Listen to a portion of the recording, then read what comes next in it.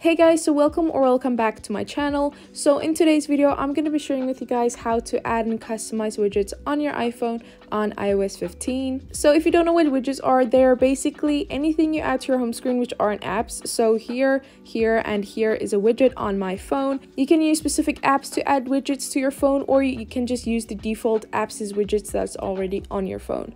Um, so I'm going to be sharing that all with you guys in this video. So here is an example of all the widgets that I have on my home screen. So you saw the ones that I have here. On this page, I have my battery widget there at the top. This page I have a Notion widget and this page I have three different widgets for three different apps. So the first thing I want to share with you guys is just how to basically add a widget to your phone. So say your home screen looks something like this, you don't have any custom icons or widgets. How you add a widget is you long press anywhere on your screen until it goes into the edit mode, which looks like this, so everything jiggles and everything. Um, and then what do you do is you go to this plus button here at the top and then you can see all the widgets that you have available to add to your home screen. So you can have widget apps like i mentioned. So example for apps that are widget apps are like top widgets color widgets. Um, you also get um, Widgetsmith. There are so many widgets um, apps that you get out there. But then you just have your default apple apps that also have widgets. So here you can see weather clock. Um, you have photos, notes, app store. There are so many widgets out there that you can use that don't need apps. You just have the apps already on your phone. So how widgets usually work is you select the app that you want a widget for. So say you want a weather app widget, you click on it and then you have the option for three different sizes. Depending on the app, you might have less or more. So for the weather app specifically, you have a small, a medium, and a large widget so that just depends on how much information you want on your phone. And then once you've selected the size that you want you can just click on add widget and it will add it to your home screen and then you can just move it around like so um, so it's really easy to add your widgets. That's the basics for adding any widget. You just long press on your phone, go to the plus button, and then go to the app you want um, a widget for. What I mean when I say some apps have more than three options, so if I go to Smart Tasks here, which is a to-do list app, you go there and you see you have your small, medium, and large widget for your today view. But then the app, they have other things like progress, which has a small and medium widget. They also have category um, that has a medium and large widget. So some apps have more varieties of size and what is shown on a widget as others. Another cool thing that you can do with widgets is use widget stacks. So what that is, is basically stacking widgets on top of each other. So here you can see you have smart stack here, which just adds a smart stack to your home screen. So um, you can just add the size that you want. So say I want a small smart stack, I can click on add widget. So basically what a smart stack does is it detects which apps you use a lot and then just throws them into a smart stack. So they just threw a bunch of apps in here for me.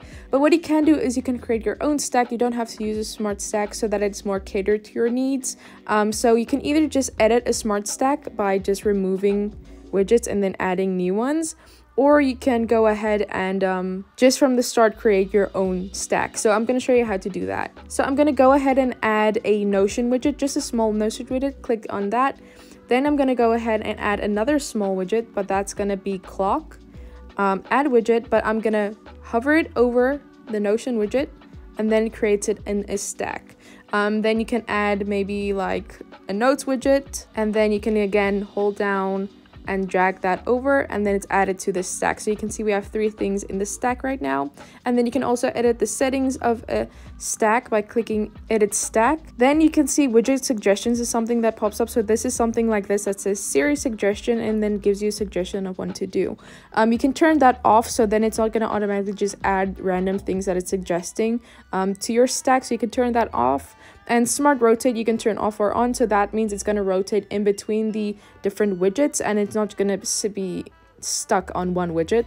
Um, so you can turn that on or off as well. Also, for widgets, you can edit them on your home screen like we've been doing the entire time, or you can go all the way to this section here, which has a bunch of widgets, and you can add them in here as well. Now I want to share with you guys some of my favorite apps for widgets. So the first one we have here is Widgetsmith, which is the one I mostly use for um, photos and time and things like that. So um, if I go into Widgetsmith here, you can see all the different widgets that I have created. You get again small, medium, and large widgets that you can edit.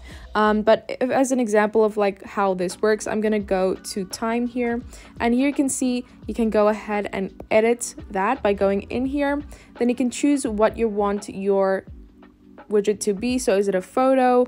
Um, is it text? Is it blank? Um, time, sun path, hourglass, date.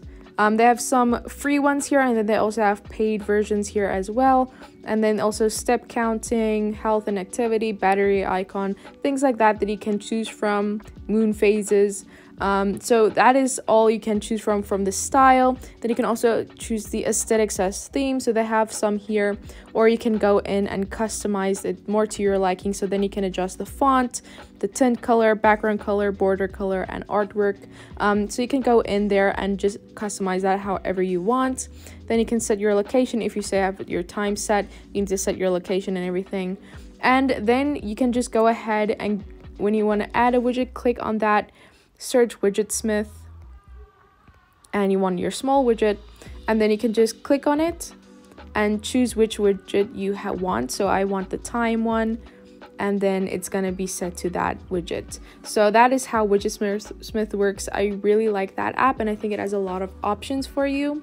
Clear spaces i did a whole video on so i'm not going to go in too much depth into it. You can go watch that video. I'll have it linked in the eye up top if you want to check out the full tutorial. But basically what Clear Spaces does, it allows you to have clear widgets. So for instance, it looks like I have just a bunch of blank spaces here, um, but it's actually widgets here. So I added them on stacks to show you guys. So as you can see, there's four widgets on here, but with clear spaces, it looks like it's clear because um, it just uses your wallpaper as reference to make widgets. So again, I'll have a, the link to that full video in the eye top if you want to check that out. But Clear Spaces is also a very fun widget, which I really recommend you check out. Color Widgets is also a very fun widget app. So it has a lot of customization. So here you can see, for instance, you have um, the popular, more popular widgets that they have here. Um, so you can go and you can edit the background color if you want.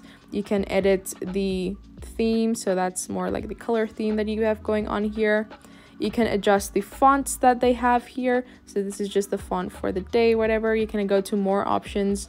Um, and some of these you need the paid version for some you don't. So that is just the color widgets basics.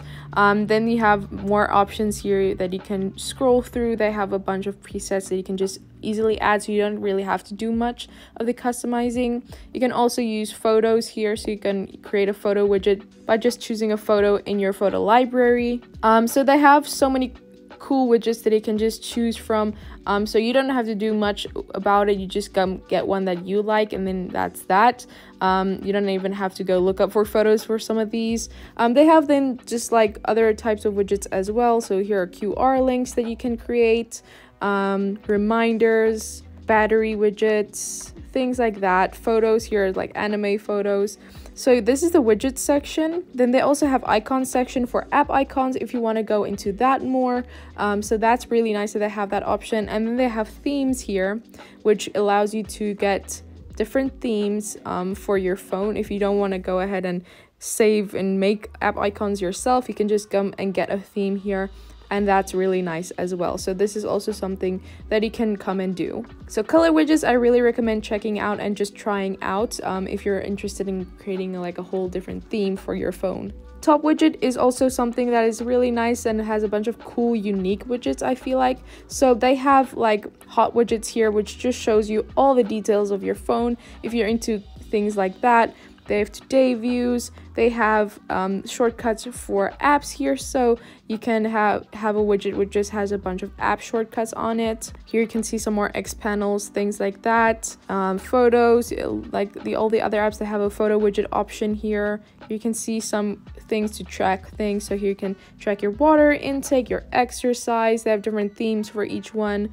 Um, so again, Top Widget is also a very cool widget app that you can come and check out and see. So they have their home screen, then they have icons here. So here you can see some of the cool app icons that you have available to download from this app or pay for depending on which one you get.